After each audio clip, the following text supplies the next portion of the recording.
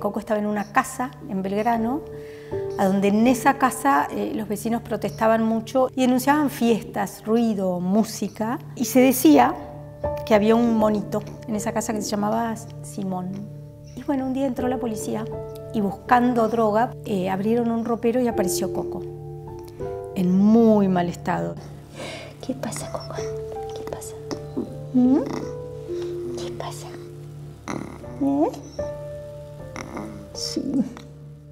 Las consecuencias de, de haberlo algún día sacado de la naturaleza son infinitas, en el caso de Coco son peores aún porque está todo atrofiado. Lo que se trafica en general son monos chiquitos. Entonces se matan a las madres y se, se hay que desprender a los monitos. Y los monitos se agarran fuerte, fuerte, fuerte de su mamá, como haría cualquier cachorro de cualquier cosa, cuando vos lo querés separar, incluso de la madre muerta, ¿no? Coco llegó ya con, creo que hacían tres meses que estaba en tránsito, eh, en un estado un poquito mejor, por supuesto, de lo que lo habían encontrado.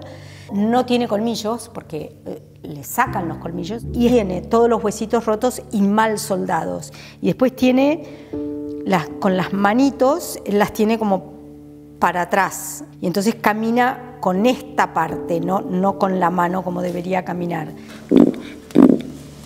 En invierno hay más humedad. Entonces, eh, vos pensás que tiene ¿no? todo atrofiado, los, los músculos. Los, es, y sí lo tenemos que tener siempre al lado de algo calentito. Durante este verano, por ejemplo, tuvimos todo el verano la, la estufita prendida, pero el calor es fundamental. Ellos son del norte, son de Santiago del Estero, de Formosa, del Chaco. Probamos todo tipo de cosas, le gusta estar en este piso. Y después está Inés Morikawa y ella hace, además de ser veterinaria, eh, hace terapias alternativas y le hace unas sesiones a Coco y Coco la ve llegar a Inés ahí por la puerta y ahí sí aúlla y fuerte, lo, que más le gusta en el mundo porque Inés le pone música y, y durante horas le hace, y le hace mover las manos, las patas y la verdad es que le hace muchísimo bien. Ahí, minitos ahí. A ver. Trataron de mandarlo a un zoológico también o lo que fuera. Nadie lo quería porque todo el mundo pensaba que Coco se iba a morir en, en un mes. No sé, hubieron veterinarios que dijeron no, eutanasia, porque no, en este estado. Así que era una responsabilidad tenerlo a Coco. Yo al principio, las primeras noches, dormía ahí acostada con él. Le hicieron todos sus estudios en Temaiken y ellos dijeron, es como si lo hubieran aplastado así de arriba. Que fui, sí, les dan todos los días. Coco es una cosa para la ley. Entonces, ¿qué había que hacer para separarlo a Coco de la causa de sus captores? Porque si quedaban absueltos, Coco volvía con ellos. Entonces, ¿qué pasó? Empezó, empezaron a trabajar para declararlo sujeto de derecho o animal no humano. Este monito lo podés juntar con otros monos discapacitados, quizá, pero no lo podés juntar con un mono sano.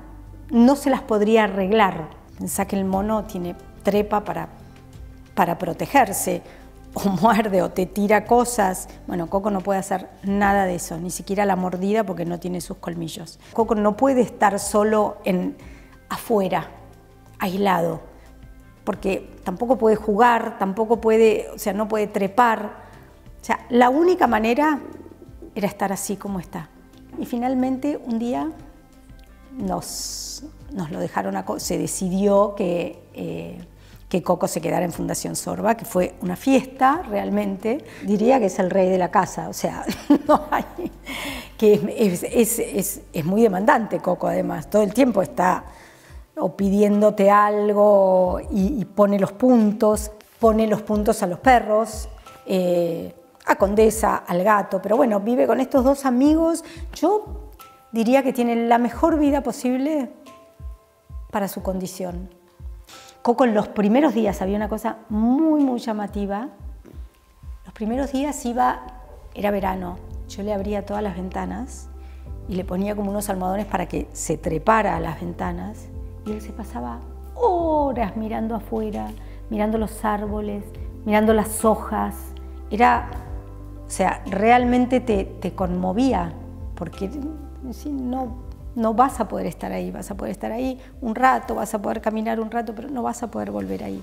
Y creo que realmente es, bueno, más allá de él, de, lo que debe haber sufrido con todo esto y de los dolores que tiene a veces, eh, eso es tremendo. Quitarles su vida en la naturaleza es la única que tienen y es la única que pueden hacer en realidad.